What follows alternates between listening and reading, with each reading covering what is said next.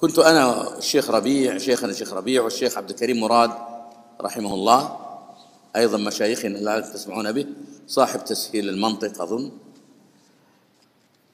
وكنا في دولة إسلامية ما.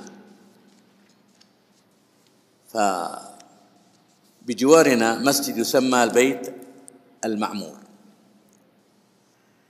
فصلينا فيه بعض الأوقات فرأينا ابتهالات ودعاء لغير الله وشركيات التراويح يصلون ثلاث ساعات لكن هذر. لا تدري ماذا يقول. الضالين.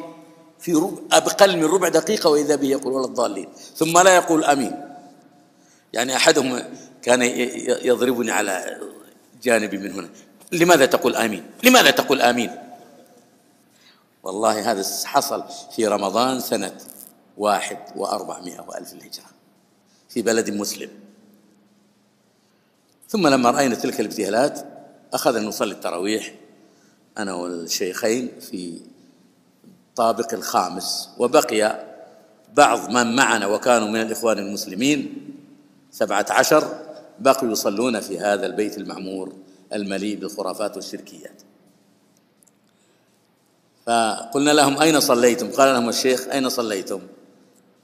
قال قالوا صلينا في البيت المعمور.